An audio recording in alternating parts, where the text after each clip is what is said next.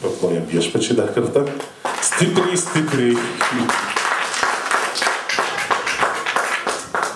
Mūsų pastoris dar turbūt kelioniai. Tai aš galvoju, netemsim gumos, nes tas stepimas tai irgi neįdomu, ar ne tenai, kaip sakant, geriau daryti, ką reikia. Gal kažkas kažkokį liūdimą turės, tai pagalvokit, nes nors ką nors paliūdysit, kol atvažiuos mūsų pastoris. Aš žinau, kad į 25 dieną bus kongresų rūmose krikščioniškas renginys, žinot, Gatavėjaus. Ir vėl ar autobusą noriu užsakinėti. Tai jeigu mes važiuojam, tai mums reikia jau pasakyti, ar užsakinėti autobusą ar ne. Daurį dienį. Я пока по-литовски поговорю, потом придет Моисей, потом по-русски хорошо. И kas, kas rusiškai nesupranta iš mūsų?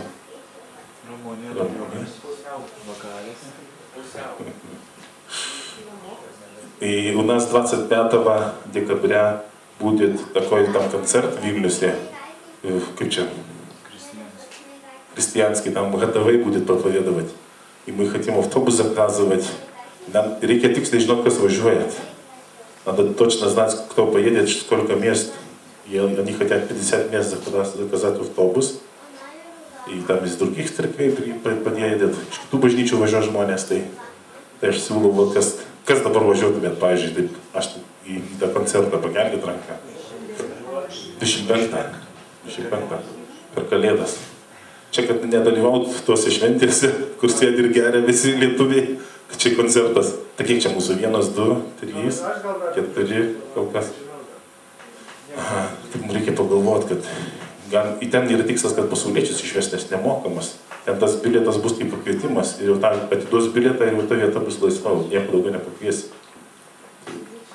Буду, можно приглашать другие дру- друзей, которые неверующие, это будет такой концерт христианский, там конгресс такой, зал большой, опера, опера, опера хаус в Вильнюсе, там около там. Опера, оперos, prie operos ir teatro šitą. Anksčiau buvo Siemens arenoje, dabar šitam bus, per toj kongresų rūmė, rūmose tuose. Tai šitą, tai, tai kas, pagalvokit gerai, kad nes jau sakė, mums reikia pasakyti, ar kiek ar mes imam ar neimam, aš jau prisižadėjau, kad imam. Ką? Ne, tai ten ir pamokslas būna. Jo, ten ir pamokslas bus ten įdomu, ten ir koncertas, ten, ten iš vis, tai, nu, ir svarbiausia, kad, nu, lietuviam tai nemokamai, kaip jūs žinot. Ну. Все бесплатно, там и билет не надо покупать, и на автобус не надо, все заплачено. Эта организация делает христианские церкви, все Литвы, про- про- протестантские. Там много людей будет, 10 тысяч, не знаю сколько там. Нет, 10 не будет. В Siemens арене было столько. Будет, не знаю, 5 тысяч может быть. Iš Latvijos atvažiuoja. Jo, iš Latvijos priезжает, там didelis renginys. Man atrodo, surinksim 50 žmonių. Tai bandom užsakinėm tada tą autobusą, o kai bus paskui kaip Dievas. Dar biškiai apsiklausim. Savaitę laiko maždaug kas važiuos. Iš Larisos bažnyčios žinau, kad nori važiuoti, nes jų mažai yra. Tai, svarbiausia, неверующие взять, чтобы... А может, у кого есть слово свидетельство, говорит, люди, может, kas nors, пока приедет Моисей, потому что он уже недалеко Литус где-то. Он служил в Вильнюсе сегодня.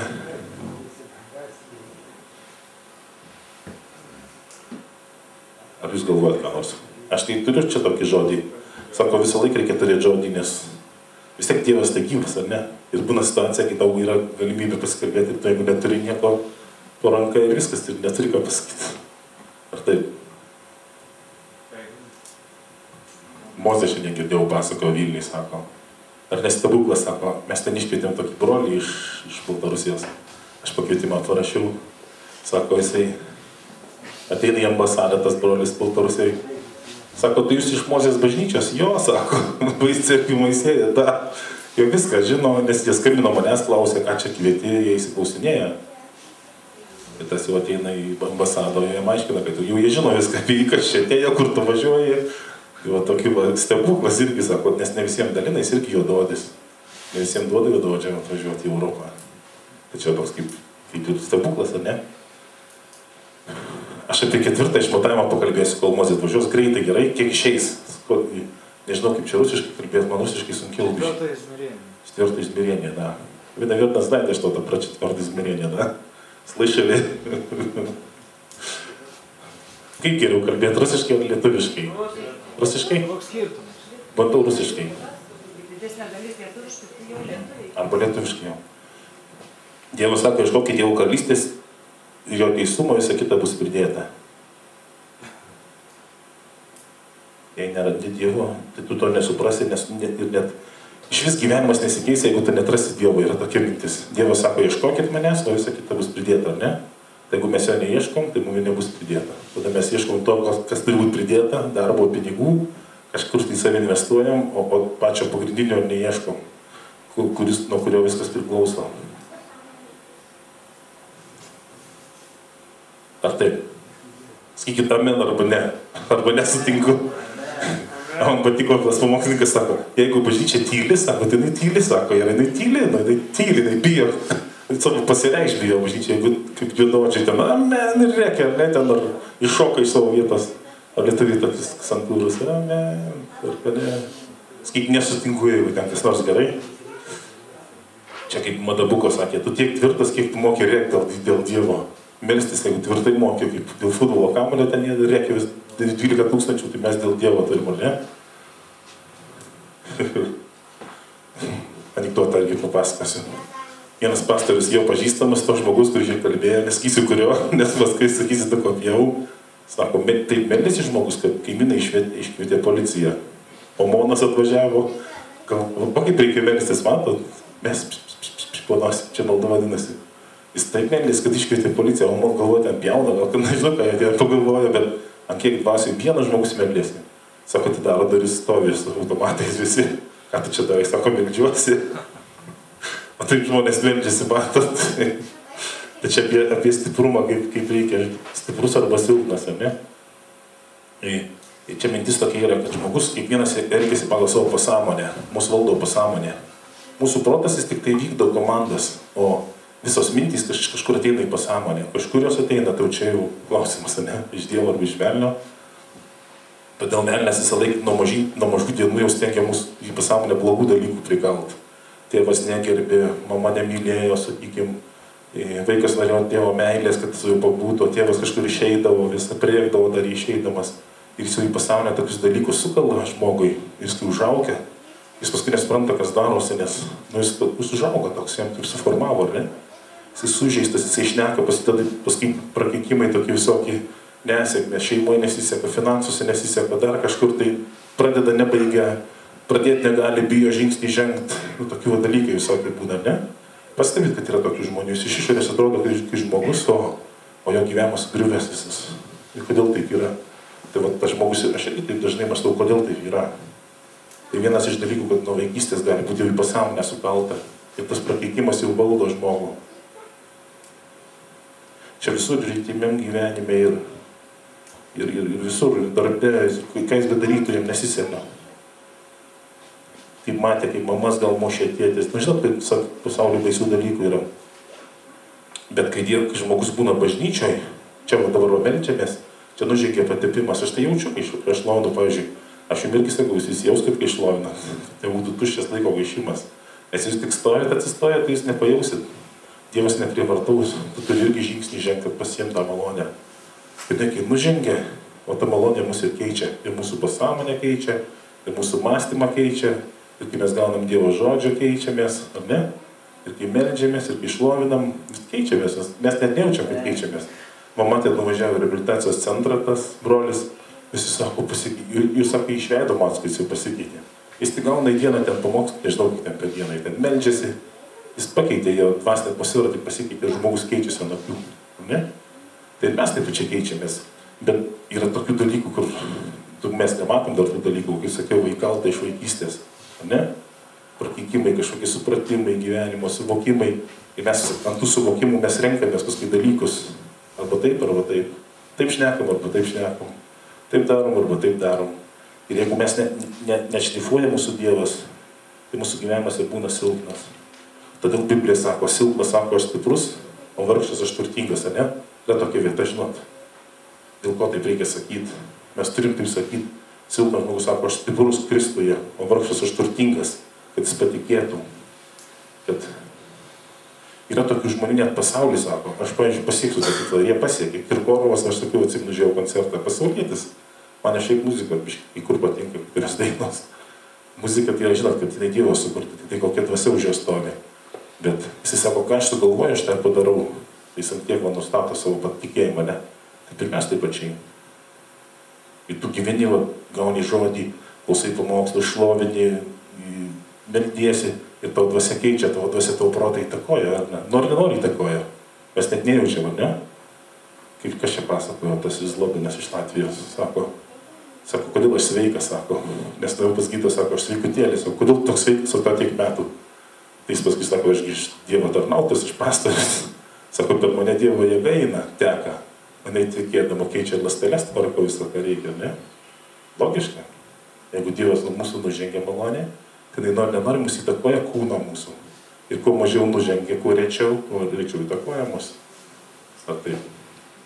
Tai čia sveika, sveikatai, čia viskam, čia ir mūsų sąmonė ir pasąmonė.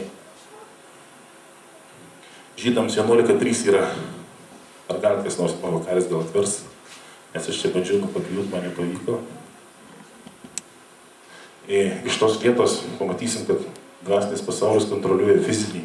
Viskas prasideda dvasiniam pasaulyje žydams 11.3 arba hebrajams. Hebrajams dar gali būti 11.3. Ir Žiūrėkit, Dievas sukūrė žmogų, bet įkvėpė dvasę, ne? Biblija sako. Tai žmogus turi dvasę viduje. Nori, nenori. Neradai daro karai. Todėl, va, kai sakau, dvasinis pasaulis kontroliuoja fizinį. Ir kas į mus įdėta yra, tas mus ir veikia. Jeigu iš vaikystės prakeikimai, jie veikia mus. Jeigu burtininkami kažkas veikia mus, jeigu žmonės eina horoskopus, pas burtininkus, eina pas kokius šamanus, jie jam prišneka, sako, tau bus taip, taip, taip, tu turėsi tiek vaikų arba neturėsi. Žinau, tokius burtininkai kažne. Pasižiūrį delną, tu gyvensi, oi, dar tau čia daug liko gyventi arba mažai jau liko, ne? Ir žmogus patikė tuo jis to, jis to laukia. Nes tikėjimas tai yra įstikimas dalykais, kurių neregi. Arba laukimas to, ko dar neregi. Ir žmogus laukia, jūs jau tiki, kad taip jam bus. Ir atsitinka taip. Ar teisingai išneku? Čia aš, aš į, į paėmiau kitą pamokslą, bet aš per save dabar perleidžiu, kaip aš suprantu jį. Ir jeigu žmogus gyvena negatyvę, negatyvę ką reiškia gyventi, negatyvę šnekėti, negatyvą mąstyti, nu viskas blogai. Viskas blogai. Už tai, kad žemė tai valdo velnės, nėra. Hebrajams 11.3. Velnė, žinot, kad valdo, į žemę valdo velnės. Yra tokia vieta. Čia pamokslavo Franekas, kai buvo, kai sakė, ne? Kad velnės buvo nutrenktas ir jisai dabar yra kunigaištis iš, iš, to, iš to pasaulio. Hebrajam 11.3. Aha. Ir toliau pažiūrėk. Hebrajams 11.3. Prie nuodėmės prieš dujos metų jis buvo, o toliau pažiūrėk. Juk neįmanoma, kad jaučiu ir užpirus panaikintų nuodėmės dar toliau. Toliau gal. Toliau gal. Ne. Čia ne ta vieta. Aš čia kažką supainiau. Jo, kažkur yra taip, aš pa- pažodžiu neatsimenu, bet esmė tokia. Tai šitą, tai prasme, kad suprantame šitus dalykus, ar ne, kad viskas prasideda dvasiai ir išeina paskui kūną, tai jeigu mes negatyvą leidžiam į save, tas negatyvas mus veikia ir jisai automatiškai, jisai, kaip sako, pasaulis sako, kristalizuojasi, materializuojasi, ne? Taip yra iš tikrųjų.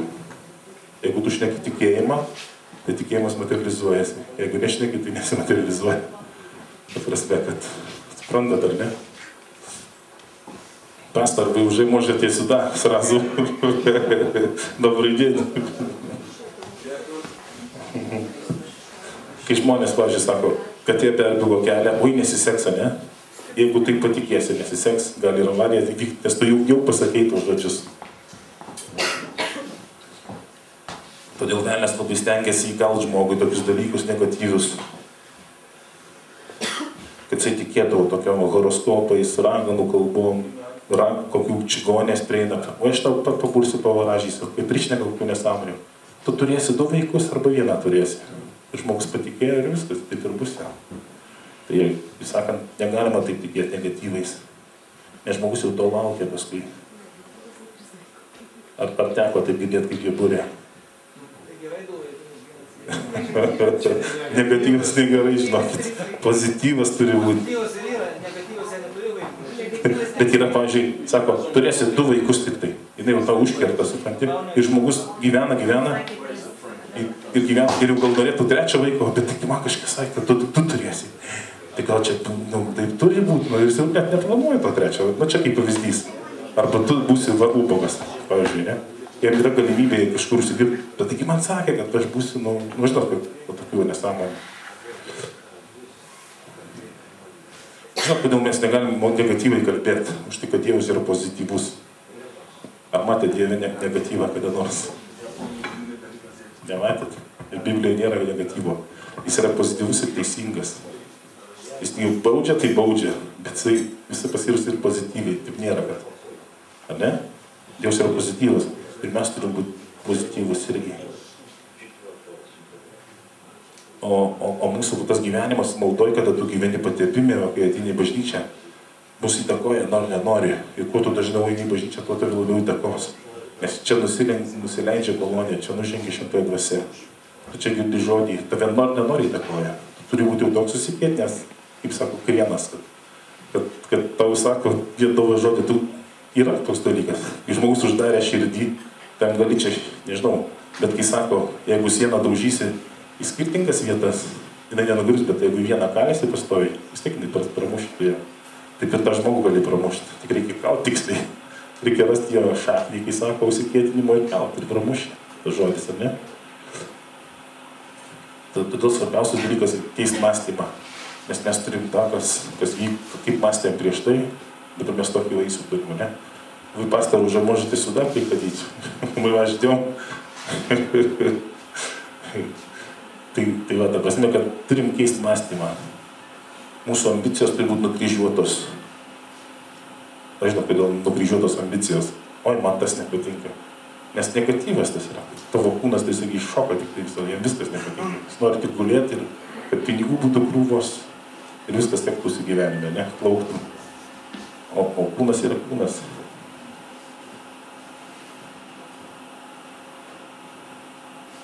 Ir netgi pasauliečių tą supranta, kad negatyvus mąstymas pritraukia net tokius žmonės. Tie, tie kaip sako, optimistai, jie eina kaip tankai, nes jie, jie optimizmų dega, kai sako. O tas optimizmas tai yra energija, ar ne? Nes žmogus, gaila, kad mes nesuprantam mūsų broliai. E, Optimizmas jisai pramuša sienas, jisai, kaip sako, net, net įrodyta yra, kad optimistiškas žmogus jis daugiau pasiekia visur. Ką jis bedarytų? Nes jisai, čia yra Dievo principas, jisai tik ir jis pasiekia. Čia net pasauliečiai, net nekalbam apie mus krikščionis. Ir negatyvus mąstymas neleidžia mums pajausti Dievo buvimo, nes tu užpumpuoji save. Tu sakai, ne, nėra Dievo, ne man nepadės. Čia visi laukia, meldžiasi, jau tuoj nužengčiau prie tos, ne, man nepadės, tu stoji užsigėti. Ir ne, neprieis prie tavęs, neprivartaus tavęs. Ne, šventoji dvasia. Aš tai taip suprantu. Jei tu nenori, tai tave prievartaus. Dievas yra, šventoji dvasia yra jautri. Mes turim save pripažinti palaimintais Kristuje, ta prasme, kad nes mums priklauso tie dalykai. Teigiamai mąstyti, teigiamai žiūrėti gyvenimą. Daugiau nepasirašiau, žinokit. man dar Tomas turi kažką tai. Tai man, mano mintis buvo, kad pozityviai mąstyti reikia, negatyvą atmest, jeigu norim, kad keistųsi gyvenimas. Ir žinot dar ko reikia, kad keistųsi, pastoviai reikia atsinaujinti. Kamerą galiu įsitrupyti nuo garų. Žinot kaip yra, nes turime pastoviai atnaujinti savo žinias, savo supratimą. Jeigu mes neatnaujiname, mes krentam, mūsų žinios, mūsų pažinimas krenta. O kaip, kaip Biblijoje parašyta, kad dėl pažinimo stokos žūsta mano tauta. Žinot, ar ne? Jei tavo pažinimo stoka, nu, trūksta tavo pažinimo, tu žūsi, pažūsi. Biblija taip sako. Tu turi tą pažinimą užsipumpuoti ir užsipumpuoti. Net pasauliečiai sako, tai savaitę turi perskaityti knygą. Į savaitę vieną knygą. Aišku, jie ten skaito marazmus, mums tai reikia skaityti geras knygas. Seminarus lankyti, visokiam temom, šeimom, visokiam temom, vaikų auklėjimų, kas šeima turi, kas šeimos neturi, sukūrimo šeimos, kas šeimoje gyvena, kaip šeimoje gyventi, kas pinigų neturi, kaip biznį daryti, kam reikia išgyjimo, kaip pasveikti Dieve, ne? Knygas skaityti yra, kurie pasveiksta nuo Dievo, kaip pajausta malonė, kuri gydo. Ar ne? Amen. Tai manau tokia trumpa mintis buvo.